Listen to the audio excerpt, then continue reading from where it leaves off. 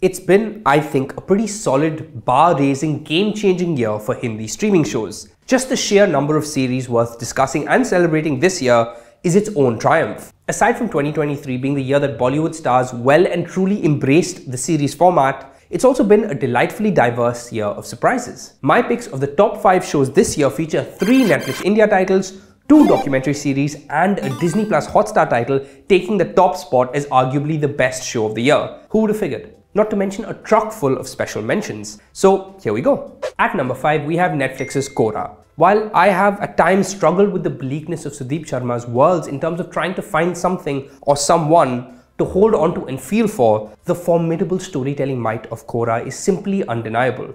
Creators Sudeep Sharma, Gunjit Chopra and Diggy Sisodia and director Randeep Jha create an aching atmosphere of despair in one of the most potent crime dramas yet. The writing is thoughtful, the craft exquisite, and the characters ugly and messy in a winning combination of urgent storytelling and rich subtext. Throw in a terrific show-making Suvinder Vicky, along with his right-hand officer played by a standout Varun Sobti like you've rarely seen him, and what you get is the rare prestige drama that's also bloody bingeable. Next up is once again a Netflix title, Trial by Fire, which follows the true story of Delhi's Uphaar cinema tragedy in 1997 and Neelam and Shekhar Krishnamurthy's three-decade-long judicial fight for justice, which followed. Prashant Nair and Kevin Luperchio's series is an incredibly sensitive and heart-wrenching portrait of grief and loss, which chooses to keep the victims and their humanity at the center of its narrative, refusing to dilute its subject matter into something particularly entertaining or thrilling. As Neelam Krishnamurthy, Rajshri Deshpande is the beating heart and driving force of this series, supercharging the narrative through a carefully calibrated performance that balances grief and steely resolve. A masterclass in the internalized rage and pain of a mother who lets her quest for justice consume her entirely. At a time when we're assaulted by endless stories of big screen heroism, Trial by Fire is a sobering look at what courage looks like in the real world. More than chest thumping dramatic moments, it's a back-breaking battle across decades with more losses than wins, more obstacles than progress, but still no signs of slowing down, come what may. Rounding off the Netflix titles is a docu-series, Selvamani Selvaraj's terrific The Hunt for Veerappan. I didn't think it was possible for us to make a great true crime series but thankfully I was wrong. This four-part series is an addictive, arresting, mesmerizing look at a fascinating figure with a truly insane story. We're all familiar with fragments of the Veerappan story, but here we get a more thorough, personal, cinematic, nuanced look at the dreaded figure. The story of the man, the myth, the manhunt, the media sensation, and the moments in time and society that created him, all captured in four unput-downable chapters which magnificently marry breathlessly paced, compelling storytelling with thought-provoking perspective. At number 2, we have another non-fiction series, Amazon Prime Video's Cinema Marte Dum Tak. The show from creators Vasan Bala, Samira Kanwar, and Niharika Kotwal examines a forgotten corner of Hindi cinema, the thriving subculture of trashy, low-budget erotic movies of the late 90s and early 2000s. Over its breezy six episodes, the show not only deep dives into the wild wild west that was the low-budget smart movie industry of the 90s, it also catches up with four unforgettably kooky, colorful yesteryear directors of that time and tells their story. Cinema Marte Dum Tak is a deliciously entertaining and charmingly heartfelt look at movie making. Full of heart and humor and made with much love and affection, this is the rare series that's not only smashing fun, it's also a thoughtful and deeply empathetic examination of filmmakers who feel like they weren't taken seriously and never got their due, and the struggles of making a living within the fickle world of film.